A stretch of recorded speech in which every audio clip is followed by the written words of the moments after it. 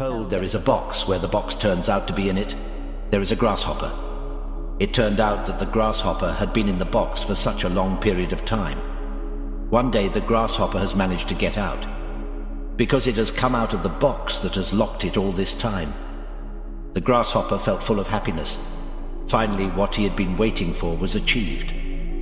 The happiness that grasshoppers have is expressed through the jumps they make here and there.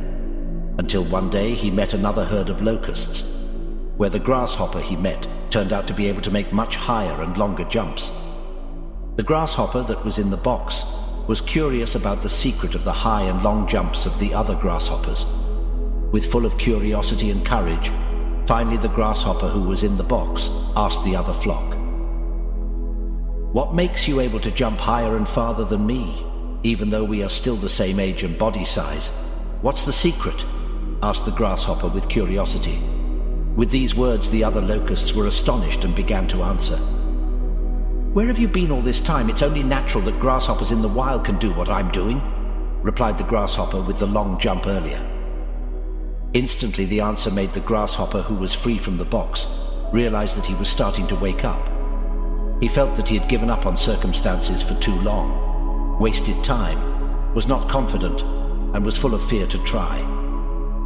Did you know that the condition of the grasshopper in the box is also often experienced by us?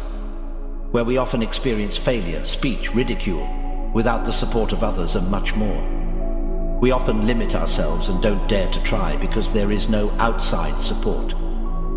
We are too fixated on other people's words and start to change our mindset as if what we haven't tried will definitely get bad results. So when there are other people, we can start to wonder what the secret is.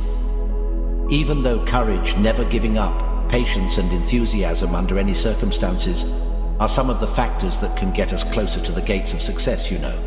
Let's change our mindset to be braver in taking the first step closer to the word success.